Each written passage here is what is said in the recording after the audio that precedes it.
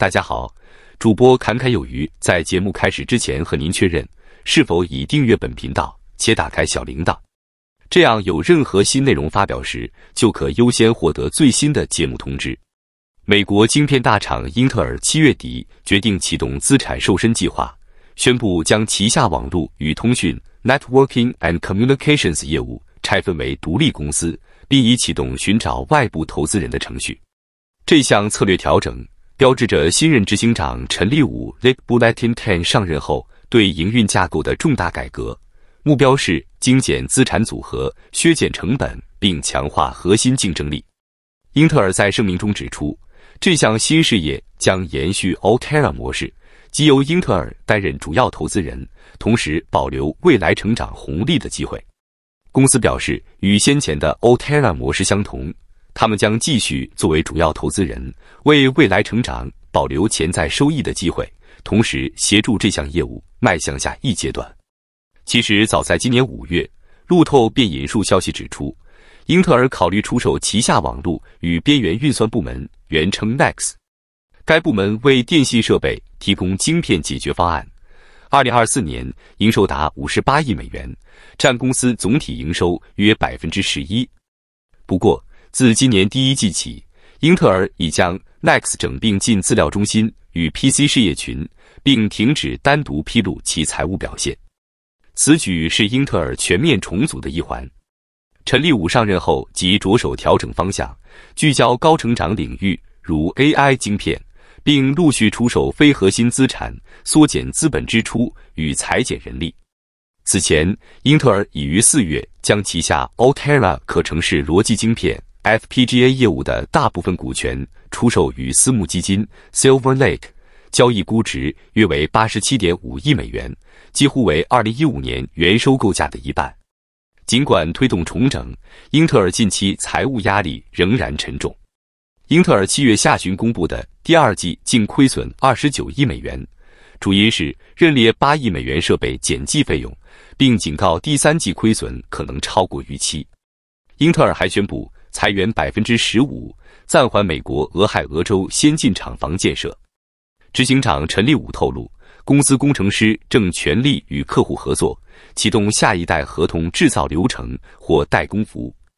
同时，英特尔也坦言，若无法争取到关键大客户 Intel 十四 A 制程，可能被迫终止。根据英特尔向投资者发出警告。其表示，若无法吸引外部客户在其工厂生产晶片，可能不得不退出晶片制造业务。英特尔警告，若未能找到大客户，可能关闭先进制程业务。如果英特尔无法确保重大的外部客户，并达成 Intel 十四 A 的重要客户里程碑，就面临一个可怕的前景：继续开发与制造 Intel 十四 A 与后续的先进制程节点不具经济效益，将不再可行。受此消息影响，英特尔当日暴跌超百分之八，报每股二十点七零美元，一周跌幅达百分之十一点六一。TD 靠问分析师 Joshua Buckler 表示，这些披露的资讯再次引发了人们对其代工业务成功几率，以及如果英特尔不开发领先的制造能力，未来的道路将如何的长期悬而未决的问题。Gabelli Funds 投资组合经理 Handy Susanto 表示。目前，人们正在质疑 Intel 十八 A 的成功程度。Intel 十八 A 的失败将是一个糟糕的故事。不过，英特尔表示，最新等效业界一点八纳米的 Intel 十八 A 先进制程进展顺利，但下一代等效业界一点四纳米的 Intel 十四 A 制程将根据已确认的客户承诺打造。然而，首次警告若找不到外部大客户。将考虑取消十四 A 与后续先进晶片制成的开发。专家解读，这可能象征美国制造晶片的末日来临，是将更仰赖台积电。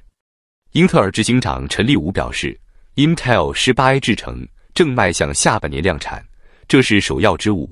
进入量产后，有助吸引外部的晶圆代工客户，比如给美国政府等重要的 Intel 十八 A 制程客户交代。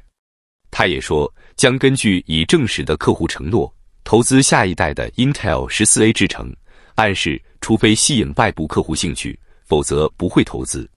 他指出 Intel 十八 A 制程的问题之一就是少了和外部客户的紧密合作，而 Intel 十四 A 制程的前景会优于 Intel 十八 A。正是让潜在客户参与 Intel 十四 A 制程的开发，并提出回馈意见。Whitebush 证券分析师布莱森指出，若找不到人投资，就要放弃 Intel 十四 A 制程，这个想法本身就是个大问题。晶片业分析机构 SemiAnalysis 也说，英特尔这家孕育摩尔定律的公司正首度评估能否维持领先优势。那么，半导体业界可能永远要讨论台积电的垄断。以及美国制造半导体永远死去。不过，也有业界人士认为，不必过度悲观解读，这应是英特尔将本求利、更加务实面对扩展晶圆代工业务的计划，不能只顾着埋头开发技术。根据英特尔提交的季度档案显示，采用 Intel 十四 A 制造工艺的客户对于该技术的成功至关重要。如果英特尔无法获得一个大客户，它可能会彻底关闭其尖端制造业务，这一潜在转变对于一家自称遵循摩尔定律的公司来说将是历史性的。摩尔定律是英特尔联合创办人戈登·摩尔对晶片行业数十年来快速发展的观察。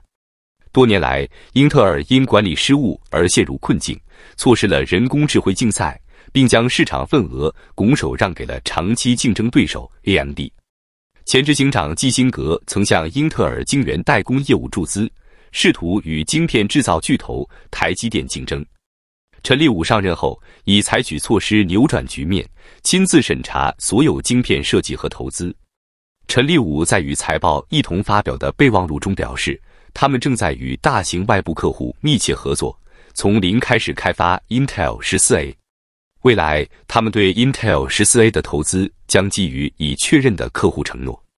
他还强调，他们将在客户需要的时候制造他们所需要的产品，并通过始终如一的执行赢得他们的信任。英特尔表示，如果没有重要客户，将考虑取消或暂停 Intel 十四 A 及后续技术的开发。档案显示，若采取这一举措，公司计划在二零三零年之前继续生产采用 Intel 十八 A 技术及其变体的晶片。陈立武在财报电话会议上指出，他专注于与客户合作，确保 Intel 十四 A 取得成功，而与外部客户的紧密合作是 Intel 十八 A 所缺乏的。Intel 十八 A 预计将于今年晚些时候投入大批量生产。陈立武表示，在 Intel 十四 A 的开发过程中。引入潜在客户并获得反馈，以使其比 Intel 十八 A 更有前景，这让他更加有信心。这一次，英特尔的客户在 Intel 十四 A 专案初期就参与进来了。英特尔从错误中汲取教训，可以更快的学习，从而取得更好的结果。话虽如此，但档案还指出，停止内部制造的决定将对英特尔造成重大影响。意味着公司将逐渐依赖台湾的台积电进行合同制造或代工服务，此举亦将使英特尔在与 AMD 等竞争对手的竞争中处于劣势，因为 AMD 与台积电有着更长久的合作关系和合作经验。截至六月底，英特尔拥有价值约一千亿美元的晶片制造设备。若停止 Intel 十四 A 生产线，预计其代工资产将出现重大损失。总体来看，英特尔在晶片制造领域的困境反映了全球半导体行业的激烈竞争。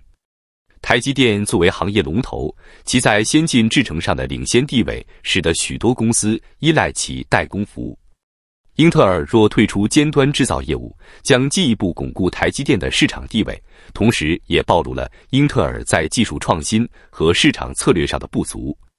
这一系列变动。无疑将对全球晶片供应链产生深远影响。那么本期内容到这里就结束了，感谢你的观看，期盼能与你产生共鸣。侃侃而谈，阔论有余。最后，请你点赞、订阅，这对侃侃有余是极大的鼓励。谢谢。